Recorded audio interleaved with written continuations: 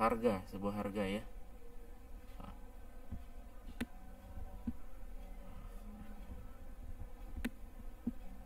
Nah, sama saja, cuman ini untuk warahmatullahi wabarakatuh. Bertemu lagi di channel Hamizan Mizan. Mudah-mudahan teman-teman semua dalam keadaan sehat. Pada kesempatan kali ini kita akan berbagi mengenai pet simulation. Apa itu pet? PHET simulation. Apa itu? Ikuti terus videonya sampai selesai. Jangan lupa like, subscribe, tulis di komentar jika ingin bertanya atau ingin berbagi kepada kita dan share seluas-luasnya video ini agar bermanfaat untuk orang lain, bukan untuk orang lain. Oke teman-teman semua, terima kasih yang sudah like, subscribe, dan share. Nah, apa itu PHET simulation? Nah, kita ketahui dari Google uh, PET simulation tulisannya seperti ini PHET simulation. Nah, PHET simulation ini atau PET simulation ini adalah bermanfaat untuk kita sebagai guru, sebagai dosen, sebagai pendidik, terutama uh, yang mengajari mengenai sains, matematik dan sains.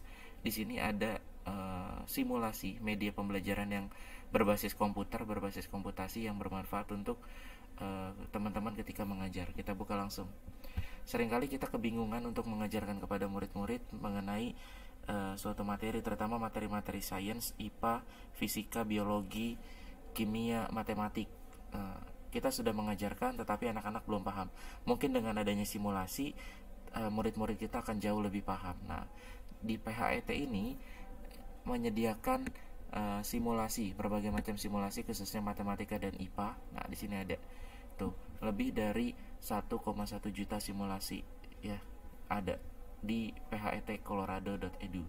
Ada fisika, kimia, matematika ya uh, pengetahuan IPA tentang bumi dan juga biologi dan lain sebagainya. Oke, mau tahu caranya seperti apa? Ikuti terus. Nah, contoh teman-teman di sini ada simulation Oke, teman-teman misalkan sebagai guru matematika, nanti kita cek satu-satu ya. Apakah ini bisa untuk guru-guru uh, SD? Bisa, tergantung materi yang akan kita ajarkan. Sebagai contoh matematika, kita cari nanti matematika yang berkaitan dengan anak SD. Ya.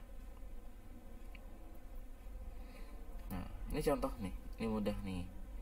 Bisa number line distance mengenai jarak, number line operation atau operasi uh, plus minus ya kan operasi hitung campuran dan sebagainya mungkin kalau kita mengajari di papan tulis murid-murid uh, masih kesulitan untuk memahami tetapi ketika dengan adanya simulasi ini berbasis komputer berbasis komputasi dia akan mudah untuk memahaminya. Free tetapi ini online jadi teman-teman harus terkoneksi dengan internet. Jika ingin menggunakan ini. nah ini bisa ada chips min 2 atau plus 3 kita buka satu-satu boleh langsung operation boleh langsung generik ya pakai menggunakan garis bilangan seperti itu. Kita chip misalkan nah positif. Misalkan. Ya misalkan. Oke. Kita taruh. Ya kan? Kita taruh. Ya ambil 3 jadinya berapa? 4 kan? Dikurangin 5 jadinya minus 1 nah, sangat mudah teman-teman. Ketika mengajari matematika di kelas 4 atau di kelas 5 mengenai operasi hitung campuran yang menggunakan tanda plus tanda minus itu sulit memahaminya dengan menggunakan praktek seperti ini. Jadi kita seperti sedang praktik tetapi tidak menggunakan alat tetapi berbasis media pembelajaran simulasi seperti ini. Kemudian ditambah lagi 4 jadinya plus 3 ya kan? Nah, jadi sangat mudah. Ini kita untuk refresh lagi di nolkan lagi. Nah, misalkan ada uh, plus 5 ya kan?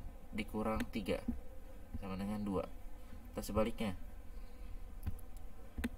Minus 5 ditambah 3 minus 2 nah, dengan menggunakan garis bilangan dengan media gambar akan mudah memahaminya. Nah ini coba. Ini untuk uh, harga sebuah harga ya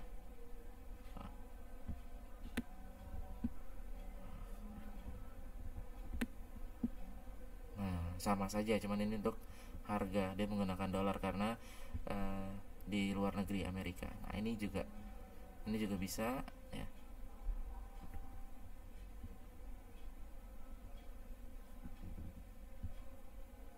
Nah, 0 tambah 100 ya kan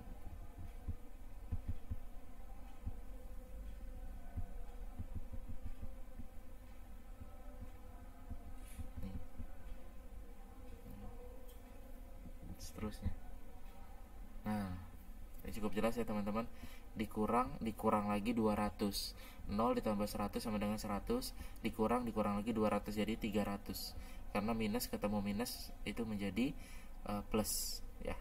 Ini kita hapus. Jadi sangat mudah untuk memberikan pemahaman kepada murid-murid kita ya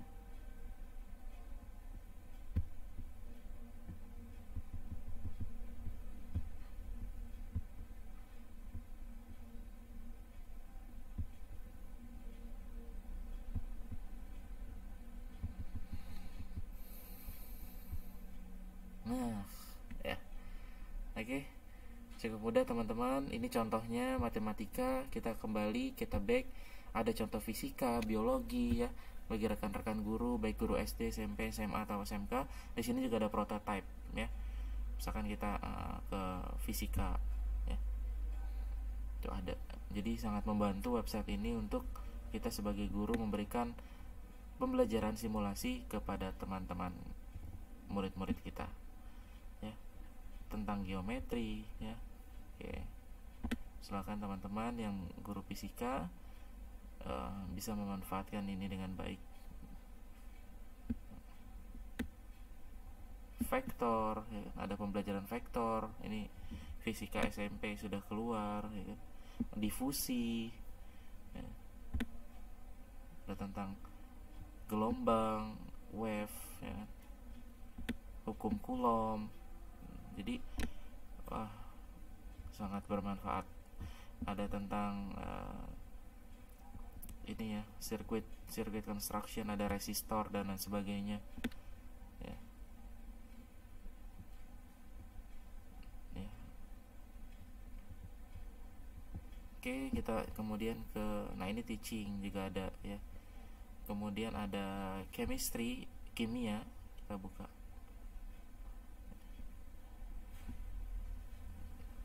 ini karena websitenya dari luar negeri ya.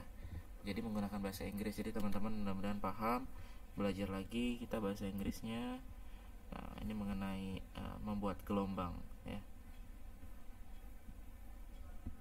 Ada gelombang longitudinal gelombang transversal ya. Oke demikian teman-teman uh, video kita kali ini benar-benar bermanfaat. Silahkan explore sendiri lebih dalam. Jika ada pertanyaan silahkan share di uh, kolom komentar tulis di kolom komentar.